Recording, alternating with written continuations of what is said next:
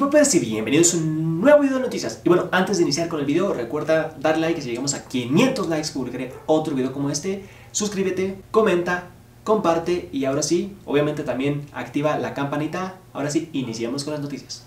¿Y BTS lanzará ropa nueva? Parece que habrá una variedad bastante interesante de nuevas camisetas, suéteres, pants, sudaderas, mantas, cubrebocas y también accesorios, como por ejemplo llaveros, plumas, libretas, tazas, cintas adhesivas e incluso globos para cada integrante. Esos artículos tienen un costo aproximado de 184 pesos a 2.730 pesos. También las prendas son unisex y podrás encontrarlas en diversas tallas. Dicha colección estará disponible el 25 de febrero a la 1 de la mañana, hora del centro de México. Y para adquirir alguna de las prendas o artículos se debe ingresar a la página de la marca. Existen tiendas físicas pero están ubicadas en Estados Unidos, específicamente en ciudades como San Francisco, Houston, Dallas, Los Ángeles, Bethesda, Palo Alto, Nueva York, Chicago, Belway y Costa Mesa. Muchos fans se preguntan, ¿cuánto cuesta vestirse como ellos? Y esa pregunta ahora se puede responder gracias a la nueva línea de ropa que han sacado. Según cuentan medios internacionales, los integrantes deben cumplir sus responsabilidades como estrellas del K-pop,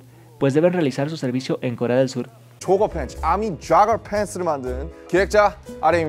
Oferta de último segundo. ¿Quieres ganar dinero como yo simplemente viendo videos de BTS y de cualquier otra cosa? Descarga la app Kwai. Yo ya he ganado 3.090 pesos en este momento, incluso he ganado más pero ya he sacado ganancias. Y si usas mi código Kwai 147 999 247 o descargas la aplicación desde el link que está abajo, ganarás dinero viendo videos de BTS y mucho más. Y buenas noticias para los idols. Jungkook y Suga de BTS hacen historia en Spotify. El 11 de febrero, Jungkook lanzó la nueva canción de Still Alive para la banda sonora del webtoon y la novela original de Seven Face Chaco de Bangtan. Este es el primer lanzamiento de Still Alive que estableció múltiples récords en las listas de iTunes, después de convertirse en la canción más rápida de un solista coreano en la historia en alcanzar el número 1 en la lista de iTunes Top Songs en 80 regiones diferentes y arrasó en el puesto 1 en iTunes Top Songs con los 8 mercados musicales más imponentes y grandes del mundo.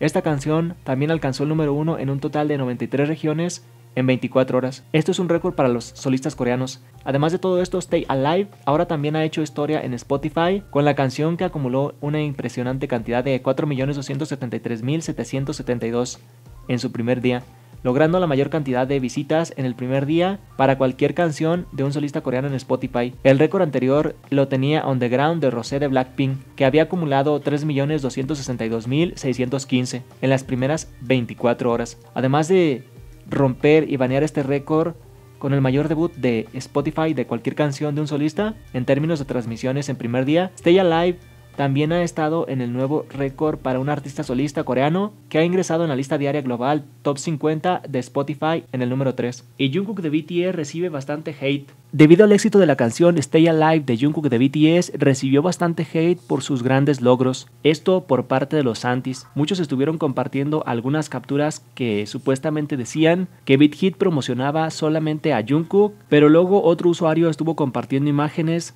de que esto era falso. Aparte del collage que estaban compartiendo, tenía muchas imágenes repetidas, de las cuales muchas ni siquiera eran de la canción, pues eran de las promociones del webtoon Seven Face Chaco, y así descartaron las especulaciones de que supuestamente Beat Hit apoyaba más a Jungkook, lo cual se demostró que era falso. Y bueno amigos, antes de seguir con las noticias les recuerdo, importante, dale like que si llegamos a 500 likes publicaré otro video como este comparte este video, suscríbete, comenta cuál es tu bias, activa la campanita y sígueme en todas mis redes sociales. Ahora sí, sigamos con el video. Y Suga de Bangtan publicó la entrada de su diario en Twitter e hizo llorar a sus fans. Diablos, este Suga, mucha gente tenía curiosidad por lo que hice durante estas vacaciones. En pocas palabras caminé, dormí y pensé mucho. Había pensamientos que necesitaba organizar antes de comenzar a trabajar en el mixtape, así que quería irme de viaje. Además, había un lugar al que tenía que ir también. Quería hacer algo que Miñongi de 24 años pudiera ser y no Suga de 24 años. Este fue un momento para reflexionar sobre mí mismo y las historias que voy a contar no se tratan de un cantante y un fan o BTS y ARMY, sino de una persona que cuenta su historia a la gente. Soy el más triste cuando me doy cuenta de que no puedo tratar a todos de manera justa cuando trato con muchas personas. No quiero lastimar a nadie, pero no puedo. Creo que todavía me falta como persona. No he podido dormir profundamente desde el segundo día de nuestro concierto en Kobe. Tal vez es porque he lastimado a tanta gente, siempre me despierta un sudor frío. Debido a que ya experimenté no poder actuar en el escenario, y decepcioné a muchos fanáticos, traté de subir al escenario sin importar lo que pasara. Mucha gente trató de detenerme. Lloré tanto sabiendo que no sería capaz de actuar en el escenario, pero llorar es perder. Para mí es bastante fácil contener mi tristeza, pero es muy duro ver a la gente que me quiere estar triste. No quiero ver tristeza en las personas que me aman. Si pudiera retroceder en el tiempo, habría subido a este escenario sin importar nada. Es por eso que hay un lugar que necesito visitar durante mis vacaciones. Fui a Kobe. Mucha gente trató de impedir que fuera, pero sentí que nunca podría perdonarme si no lo hacía. Así que me fui a Kobe. Esta es la segunda vez que visito el lugar de conciertos después de que ha terminado un concierto. La primera vez fue después de nuestro primer concierto de Red Bullet en Axe Hall. La segunda es el escenario en donde no pude actuar, Kobe World Hall. No me gusta volverme aburrido. No quiero dar por sentado todo el honor y el amor de nuestros fans.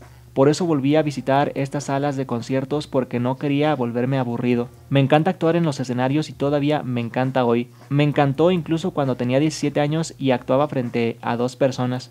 Pude mirar a esas dos personas a los ojos porque era genuino en lo que estaba haciendo. Siento que después del debut no he sido tan genuino. Podría ser porque me he dado cuenta de que todavía me faltan muchas áreas. Y en el primer día del concierto de HYYH pude mirar con confianza a la audiencia pero después de no poder actuar ese segundo día en Kobe, no pude mirar a todos a los ojos con confianza. Es por eso que volví a visitar Kobe y seguir caminando por la sala de conciertos hasta el momento que nuestro concierto comience allí. Quería saber cómo se sienten todos ustedes mientras esperan nuestros conciertos desde la taquilla hasta los diferentes rincones de la sala de conciertos. Sentí muchas emociones, felicidad, el sentimiento de emoción, tristeza, ira, decepción muestra mientras espera un concierto. Quería entenderte y lo hago. Por eso lo siento y me disculpo por no ser una persona perfecta. Una vez más sentí que era una persona a la que le faltaba mucho, alguien que es débil pero actúa fuerte. Aunque no soy religioso, oré mientras estuve ahí. Qué raro, ¿no? Sé que todo esto llegará a su fin algún día.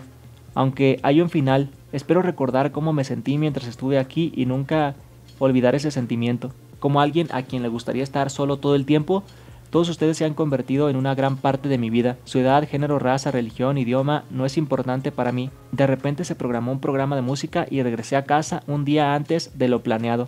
Pude organizar muchos de mis pensamientos antes de regresar a casa. Pude comprender una vez más que fui verdaderamente bendecido y que debería ser alguien que debería estar agradecido por cada momento. Gracias Army por hacerme una persona bendecida. Sé que puede que no me exprese mucho, Estoy escribiendo este mensaje para expresarles mis sentimientos y pensamientos. Viviré cada momento agradecido porque soy una persona que carece. Los amo, Army. El sincero y genuino mensaje de Suga, que reveló un lado más personal de sí mismo, permitió a los fans entender lo que estaba sintiendo en ese momento de su carrera. Suga sigue fiel a su declaración y vive cada día con nada más que gratitud mientras se esfuerza por mostrar lo mejor de sí mismo a sus fans. Bueno, eso fue todo por este video. Espero que les haya gustado. Recuerden suscribirse para más videos como este. Dale like si llegamos a 500 likes. Publicaré otro video como este. Comparte este video con tus amigos. Suscríbete y nos vemos en el próximo video. Año.